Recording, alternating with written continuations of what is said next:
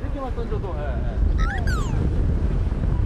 둘이서 하잖아요. 그러면 여기서 보내주세요. 그게 같아요. 자 레디 액션 아우 펀치가 컷이요! 이렇게 한 번더 들고 되겠다 야 아이고 아이고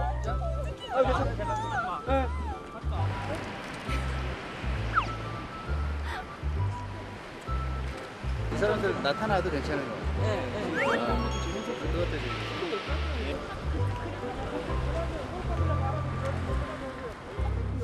신부님 좋아요 좋아요 신랑이 좋아요 자 웃어봅시다 우리 이 사진 다 찍고 그건 아니라고! 아, 아, 이 사람들 정말 진짜. 아, 걱정하지 마. 내가 이거 사진 다 찍고 나서 저 인간들 죽여버릴 거야 그냥. 아 그럼 약속.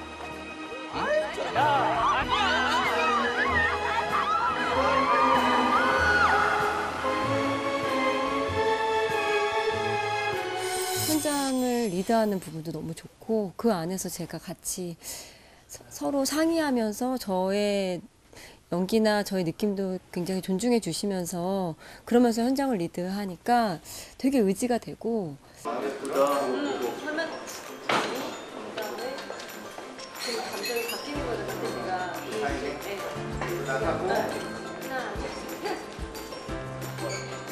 이런 식으로 그냥. 정하지 말고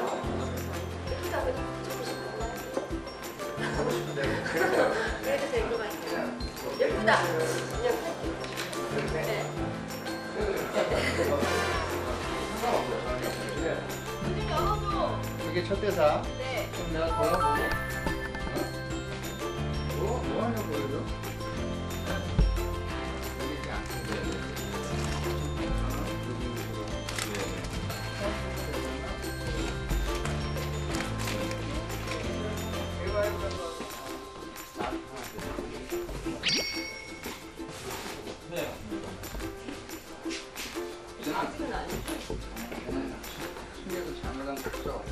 수진으로 보여야 돼요 제 입장에서는 어, 근데 지금 오늘 완전히 그냥 김하늘 씨는 어디 가고 어, 수진으로 보이더라고요. ready action. 첫 작품.